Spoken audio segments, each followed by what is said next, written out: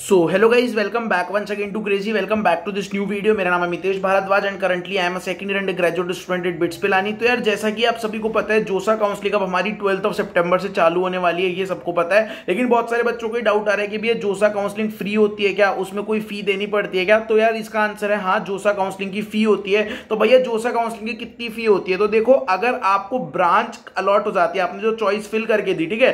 Counselling में apply करने की कोई फ़ीस नहीं है। आप काउंसलिंग में अप्लाई कर सकते हो। आपको अपनी जेई मेन्स के जो भी रजिस्ट्रेशन नंबर है, उससे आपको लॉग करना रहेगा पोर्टल पे 12 सितंबर को। उस पर आप अपनी पर्सनल डिटेल्स डाल सकते हो, जो भी आपको चेंजेस वगैरह करने हो करके आप अपनी चॉइस फिलिंग उसके अंदर अपलोड कर सकते हो, ठीक है? आप अपनी चॉइसेस उसके अंदर एंटर कर सकते हो। इसकी कोई फ़ीस नहीं होती, ठीक है? मतलब ये हो गया काउंसलिंग में अप्लाई करना। तो काउंसलिंग में अप्लाई करने की ज़ीरो फ़ीस है। लेकिन अब अगर आपको जैसे ही सीट अलॉट हो जाती, जो भी आपने प्रेफरेंसेस लिस्ट दी अपनी, उसमें से अगर आपको कोई सीट अलॉट हो जाती तो उसके टाइम पे आपको पार्शियल एडमिशन फ़ी पे करनी पड़ती है। वो पार्शियल एडमिशन फ़ी कितनी होती है? लास्ट ईयर तक थर्टी फाइव थाउज़ेंड थी जनरल कैंडिडेट के लिए और S C S T PW के लिए कितनी थी? फिफ्टीन थाउज़ेंड लेकिन इस बार ये पार्शियल एडमिशन फ़ी पाँच पाँच हज़ार रुपए से बढ़ा दी गई है। जोसा के बिज़नेस रूल्स में जैसा कि लिखा हुआ है कि पार्शियल एडमिशन फ़ी है twenty thousand rupees for S C S T general PW D general EW S EW S PW D OBC NCL PW D S C PW D और S T PW D ठीक है? मतलब S C S T general EW S और इनकी सारी respective PW D categories की ये fees है आपकी ट्वेंटी थाउज़ेंड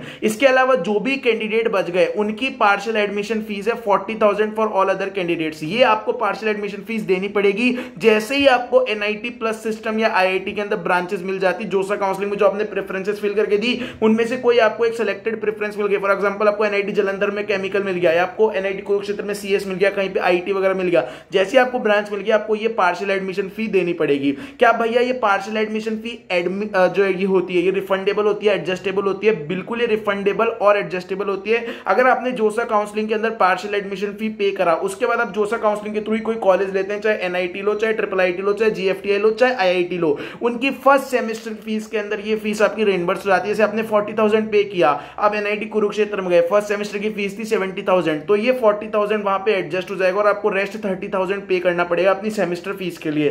क्या भैया ये फ़ी रिफंडेबल होती है? बिल्कुल, ये फ़ी रिफंडेबल होती है। अगर आपको जोसा काउंसलिंग में कोई ब्रांच मिल जाती है और वो ब्रांच से आप सीट विड्रॉ करते हो, ठीक है? अगर आप सीट विड्रॉ करते हो तो जोसा प्रोसेसिंग चार्ज करता है सिक्स थाउज़ेंड रुपीज़ का।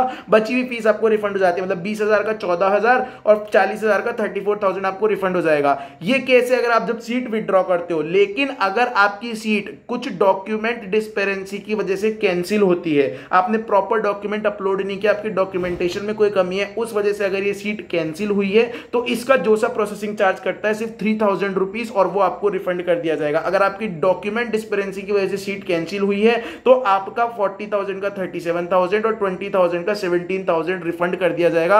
ये साफ़ साफ़ लिखा हुआ है जोसा के बिज़नेस रूल्स के अंदर। होप सो रिफंड से रिगार्डिंग फ़ीस से रिगार्डिंग हर चीज़ क्लियर हो गई होगी। मज़ा आया तो चैनल को सब्सक्राइब करके वीडियो को लाइक करना। ऐसी हर एक इंपॉर्टेंट चीज़ आपको इस चैनल पे जानने को मिलेगी। ठीक है? मिलते हैं अगली वीडियो में। तब तक के लिए have a nice day bye bye take care